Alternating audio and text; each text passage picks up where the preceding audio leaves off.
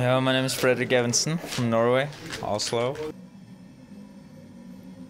Welcome to Oslo. Welcome to my crib. Welcome to my mansion. This is my uh, first cover that I ever got here